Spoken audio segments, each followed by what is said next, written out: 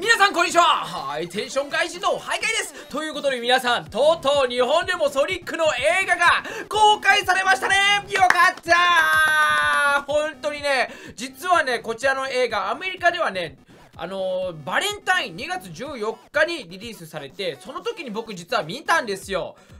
それでねめちゃくちゃ皆様にねこのことについて話したかったんですよ。この映画ねすごいのがねなんとゲームを題材とした映画のオープニング週末収益記録を大幅にね塗り替えたんですよ。あの名探偵ピカチュウとも比べますとなんと最初の4日間で名探偵ピカチュウより大幅に追い抜いております。それぐらいこのソニックの映画やばいんですよ。さらにアメリカでだけですけれども2週間でなんと公共収入200万ドル突破それぐらいこのソニックやばいんですよ。なのでもう僕見た時にこれはレビュー動画作るべきだなって思ってたんですけれどもあの日本延期になっちゃったじゃないですか。僕はちょうどあのリリースされるちょっと前に動画をねあの出そうと思ってたんですよ。レビュー動画。でも延期になっちゃって延期になってる状態で見たすごいいや日本の皆さんも早く見れるといいですねっていうのはちょっとなんだろう。あまり良くないなと思いましてあのもう日本がリリースされるまでレビュー動画は出さないと決めておりましてだからずっと今まであのソニックの映画のことに関してのあの動画をちょっとお控えさせていただいておりました。ということでまあもうすでに日本でリリースされたということで私今回レビューさせていただきたいと思っております。ただ皆さん大丈夫。ご安心ください。ネタバレはしませんのでまだ動画を見てない。動画というか映画を見てない。人たちがいる場合は大丈夫。ご心配なさらずに。そして映画を見た人たちは僕と共感できるかなと思っております。そしてもしかしたらねえっ、ー、と映画を見た人たち用のなんかディスカッションみたいな感じのその動画か生放送でもいいんですけれどもそれも設けたら面白そうかなとは思っておりますがまあそれは皆さんコメントで教えてください。さてはじめに僕がこの映画を見てどう思ったか。シンプルに言うとすごく良かったです。本当にこの映画はめちゃくちゃ良かったでございます。本当にねあの映画自体はどういうストーリーかというと、まあ、ソニックのオリジンストーリーという形になっておりました。えっとどういうことかというと、まあ、ソニックがどこから来て、えっとなぜ地球というか、まあ、今人間の住むこの世界に行ったのかっていうのをすごい黒くない方向であの結構さいたまに映画ってもう全部ナレーションで頑張って説明しようとするところもあるんですけどもそういうこともあんまりなくて、まあ、ナレーションーションがないって言ったら嘘ですけれどもほとんどそんなあのくどいナレーションとかはなく本当にパッパッパッソニックはこんなんなってっていう感じで結構シンプルにねバックストーリーを教えてもらえたんであの結構ね見やすかったですね最初の方はもうダラダラダラダラドラッグしなかったんで。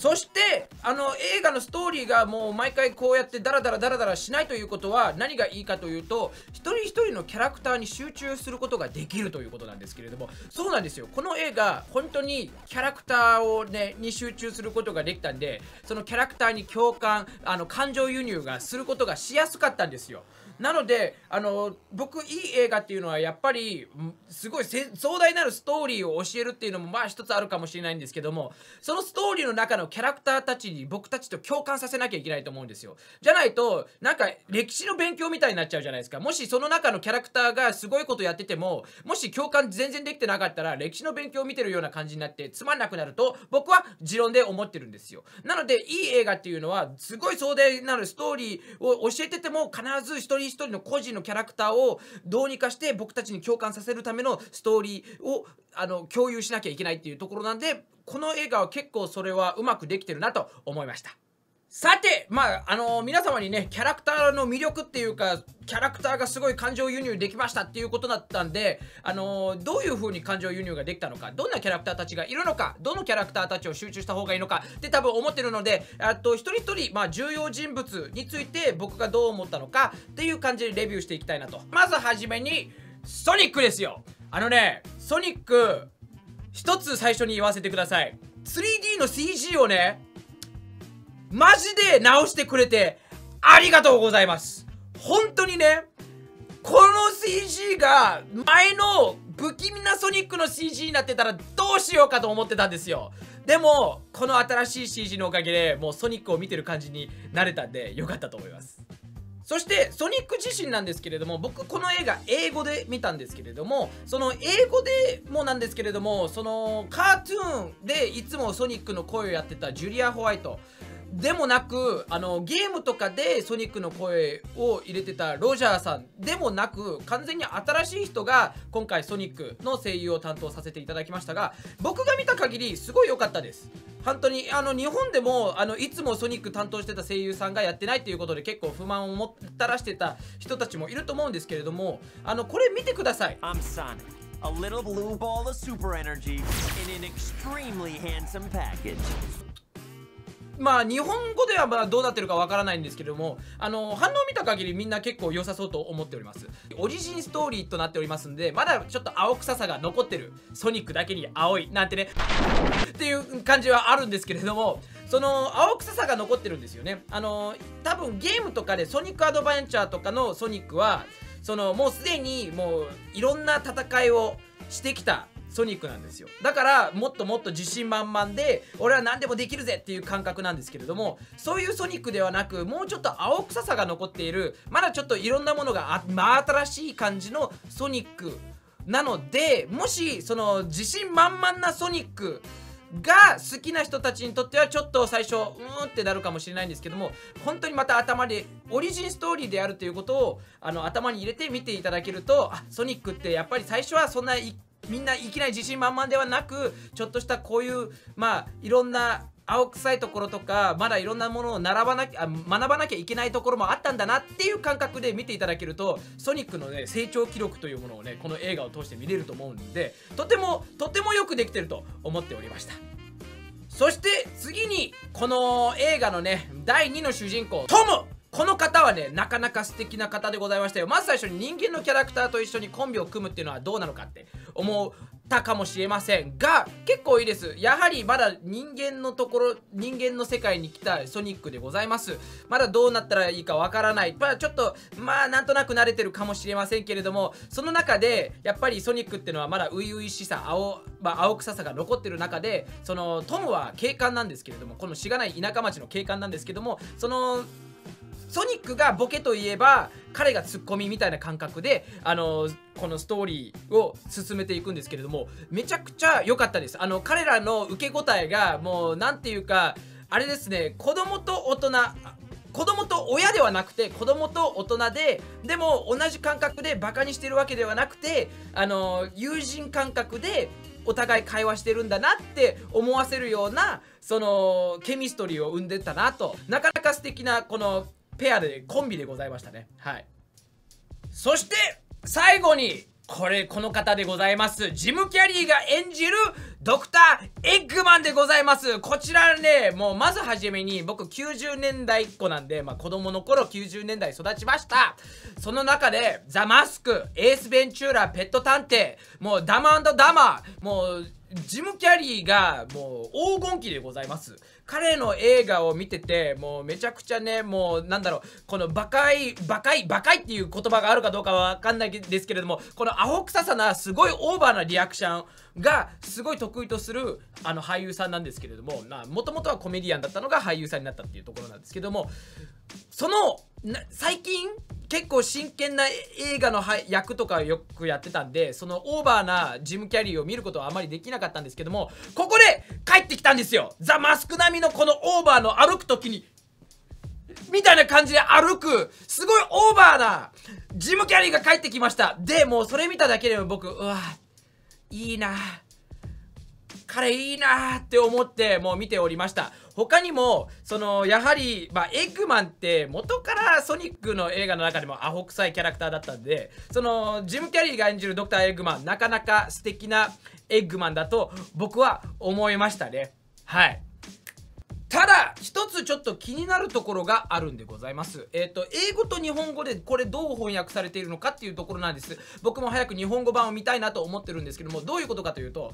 えっとアメリカ版のソニックだとエッグマンのことはエッグマンじゃなくてロボトニックっていう名前なんですよ。ロバーニックっていう名前なんですよね。でエッグマンはある意味そのニックネーム扱いされてるんですよ。でだエッグマンっていう名前も結構あと2000年ぐらいでやっとで初めてアメリカでもちょっと知られるようになった感じの名前なんですよね。だから日本ででそのロボトニックとエッグマンの言い合いというかそのギャグが英語版ではあったんですよ。あのロボトニックっていう名前で普通に活動してるんですけれどもあの結構卵型のロボをいっぱい使うんですよね。でそのえあのソニックがあいつのこと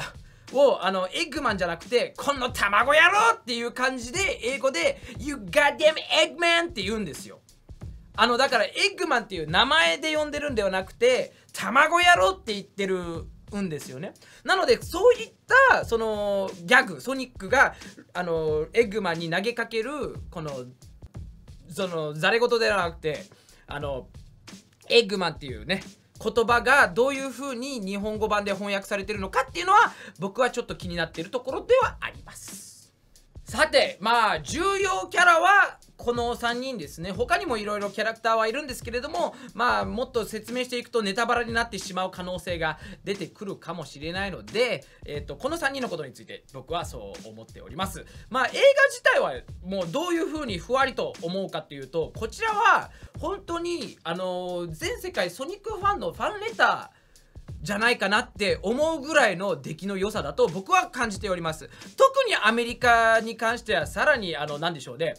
ファンレター強いのかなって思います。なんでかというと本当にいろんなソニックネタがこの映画にこうイースターエッグとして散りばめられてるんですよ。もうで特にアメリカのそのソニックのあのネットミームみたいなあのミームというとまあ日本でいうとネットのネタみたいな感じですよね。あの2チャンネルとかでなんかすごい盛り上がるネタとかあるじゃないですか。それをミームって言うんですけどもそれらのネットミームをすごい取りえ公式がそんな取り入れちゃっていいのこんなネタっていうのをがめちゃくちゃ入ってるんですよ。それ言っちゃう？えそのそのネタ使っちゃうのかっていう感じがもうめちゃくちゃアメリカの視聴者として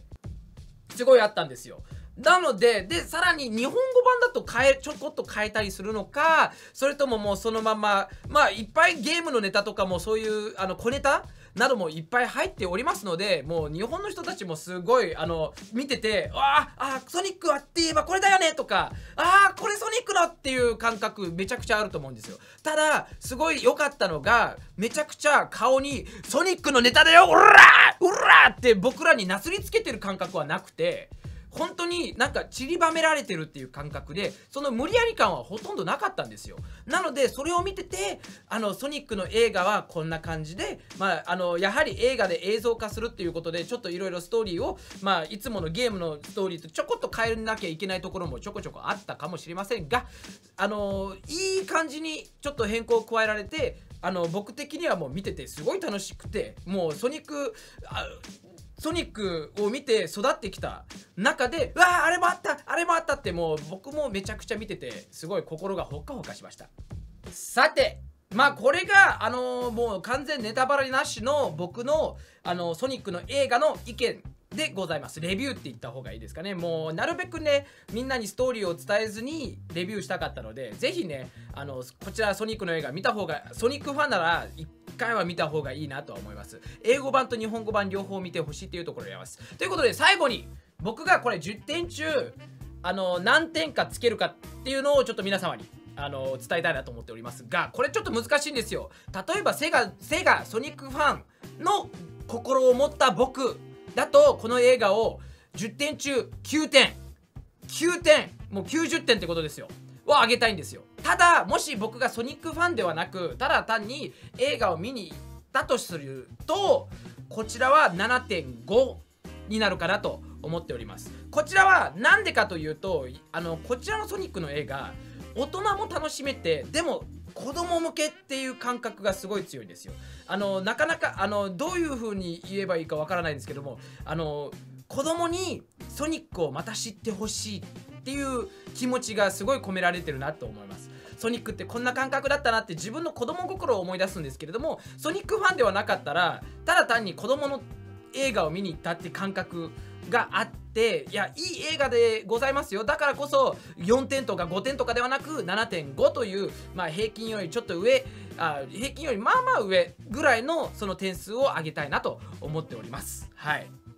そしてネタバレではないんですけれども僕が言うには日本語版であるかどうかわかんないですけれどもクレジットが回った後アベンジャーズみたいな感じで最後になんかちょっとした映像特典があるんであのちょ映画終わったからそのまま立っていくんではなく待ってください。クレジットが全部なくなるまで待って見てください。すげえすげえ驚くから。驚くというかソニックファンには大歓喜なことが起こると思うんで。はいということでこちら私のソニックの映画レビューいかがでございましたでしょうか？面白いと思ったらね面白いって言ってくれコメントで。でもグッドボタンでもいいよ。グッドボタンでもいいですし面白いとも言ってくれれば僕も助かります。それともし映画をもう見たことある人たちはどう思いましたか？それもコメントに教えてください。よかったですか？やっぱりちょっと子供っぽかったとかあります？もう僕にどんどんどんどん意見ください。はいということでね今回はこの動画をここで終了させていただきたいと思いますがまた次の動画で皆さんお会いしたいと思います。ではでは皆さんアリュー